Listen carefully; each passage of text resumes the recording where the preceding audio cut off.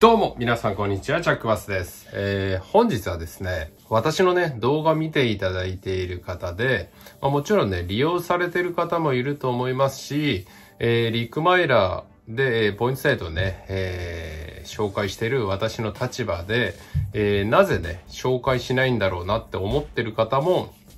多いかなと思うんですけども、本日は、えー、ポイントサイトもピーについてね、まあ、完全に私の個人的見解ではあるんですけども、えー、なぜね、ポッピーを、えー、ポイントサイトモッピーをね、えー、私が紹介しないかっていうのをね、え今回ね、解説していきたいと思います。で、先日、本当に昨日か一昨日ぐらいなんですけども、まあ今ね、東急ルートっていう ANA マイルをね、えーえー、ポイントサイトから ANA マイルにね、交換する場合、各種キャンペーンね、ポイントサイト、まあ今、ハピタスと、えー、ポイントインカムね、えー、キャンペーンやっておりますけども、まあそれを除いて、まあ通常時は今75%、まあ1万円分のポイントが、えー、7500マイルになるっていうのが、まあ限界なんですよね。まあ限界っていうか、まあ最高値なんですよね。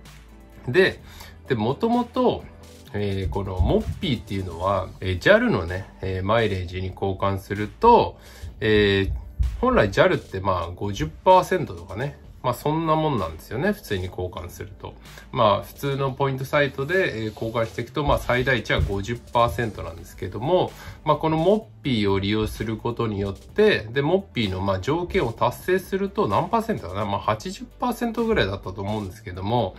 えー、まあ、交換できるっていうことで、まあ30%近くね、アップしますよね。ですんで、まあ1万円分のポイントがまあ5000マイルになるか8000マイルになるかっていうことで、まあかなりね、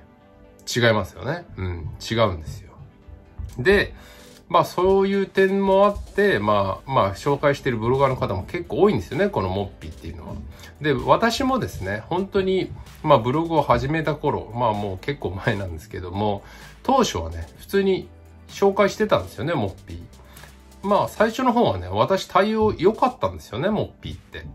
なんですけども、まあいつからかね、あのモッピーって様子おかしくなったんですよね。まあ今ちょっとどうかわかんないですけど、まあ先日まであったんで、まあまあひどい人はまだ多分これ担当者によって違うのかもしれないんですけども、本当に一時すごいひどかったんですよね、モッピーって。ツイッター上にね、結構ポンポン上がるぐらいね、ひどかったんですよね。まああの、ポイントサイトを利用してて、まあ一番ね、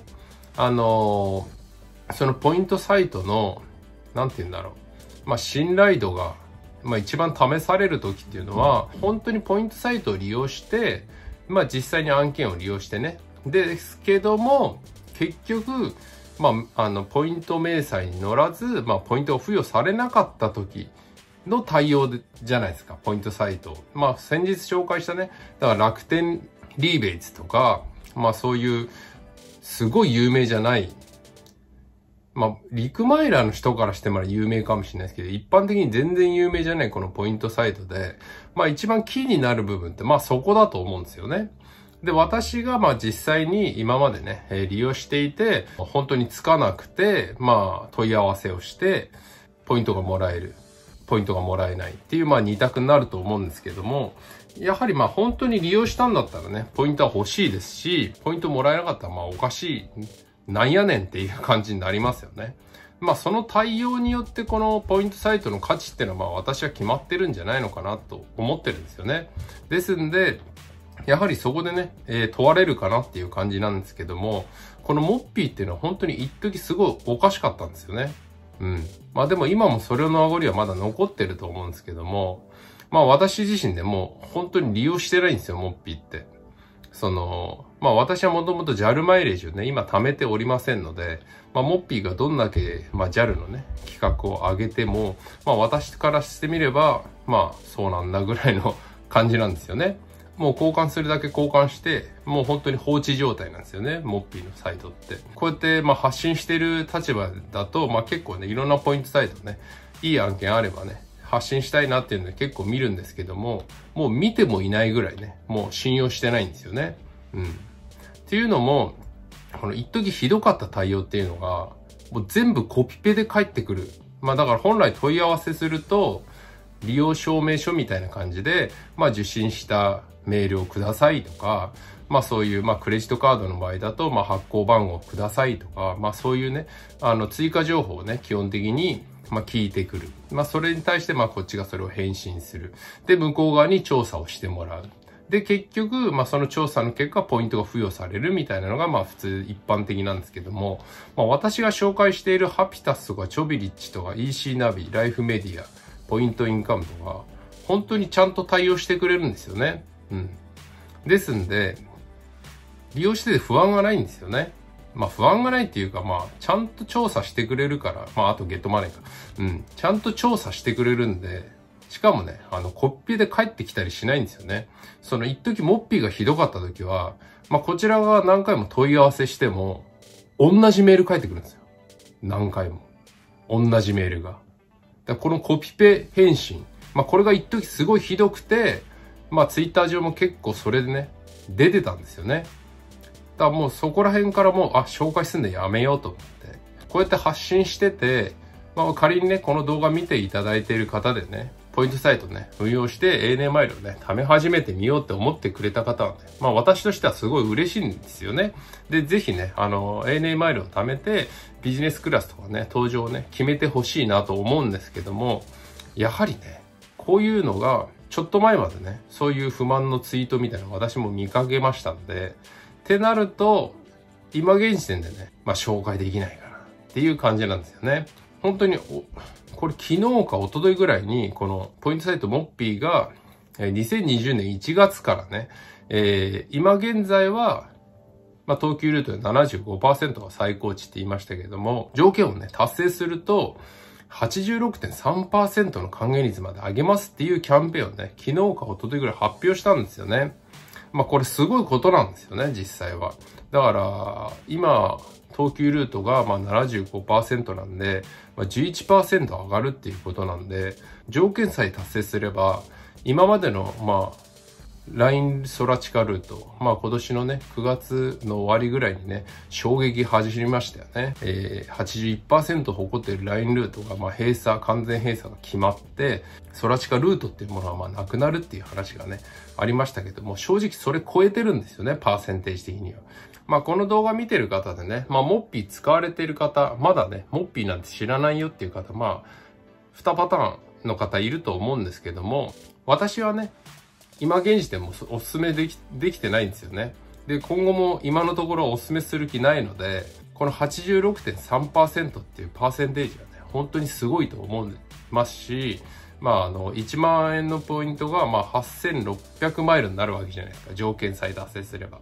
まあ、私はね、お勧めしないですかね。まあ、私が発信して利用した方がね、もうこういう事態が起きた場合ね、本当に申し訳なくてたまらなくなりますよね。なんか、せっかく紹介したのに、結局、あの、利用した案件がね、うん、ポイントつかないとなった時に、ずっとコピペでメール返信されたら、すんごい嫌な気分になるじゃないですか。うん。ってなったらやはり、紹介できないかな。っていうのが、私のね、モッピーをお勧めしない理由なんですよね。本当に86.3%の本当にすごいんですよ。モッピーじゃなかったら私はもう完全に紹介もしてるし、お勧めしてるんですけども、モッピーなんですよね。ポイントつくつかないって、100円とか50円ぐらいの案件だったらまあいいじゃないですか。100円とか、まあそれも良くないですけどね。まあ、あの、取りこぼ、その結局もらえなかったとか、もらえなくなった案件が、まあそうやってね、すごい小さいポイントだったらね、まあ誰でもね、そこまでね、イラッとしないと思うんですよね。10ポイントとか100ポイント、まあ100ポイントとかもう50ポイントとかね。そんな高額のポイントじゃなかったら、まあそんなにね、あのー、後味嫌な思いしないと思うんですけども、ポイントサイトってでかい案件はでかいじゃないですか。だからこれが本当に3万とか5万とかそういう大きいポイントでね、そうなった時にね、本当に悔しいですよね。まあ、それしかもそれがなんか、なんかの利用案件とかで、もうお金を結構使ってるとかのね、そういう案件になったら、もうそれこそ結構嫌な思い出になるじゃないですか。っていうので、やっぱりね、嫌ですよね。この私のチャンネルね、見てる方、まああの、このキャンペーンね、知ってる方もいると思いますし、まだ今日知ったっていう方もいると思うんですけども、まああの、自己責任でね、うん。